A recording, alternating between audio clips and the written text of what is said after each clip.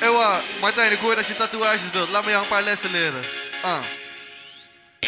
Hoi Martijn, welkom in de levensmannen. Ik heb domme tatoeages op mijn domme onderarmen. En er is niks mis met verstoppen voor je ouders. Kom, we gaan naar Hunkermullen en we scouten mooie vrouwen. Eh, LMG for life.